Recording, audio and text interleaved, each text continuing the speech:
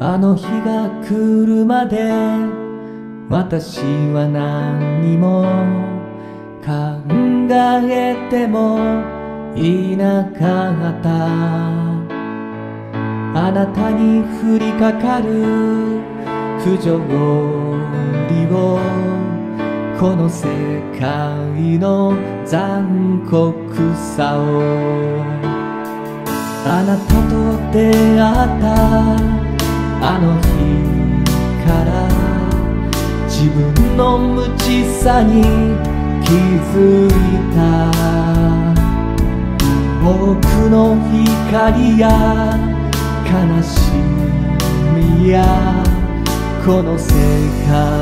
の理不尽さをこの国に生きる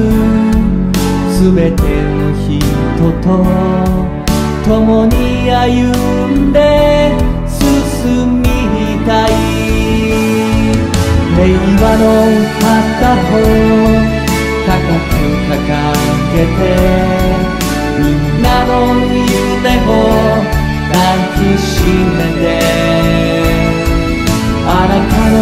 ことを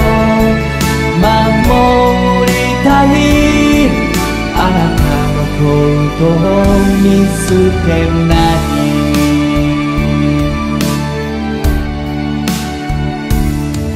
あの日が来るまで私はあなたの存在さえ知らなかったあなたに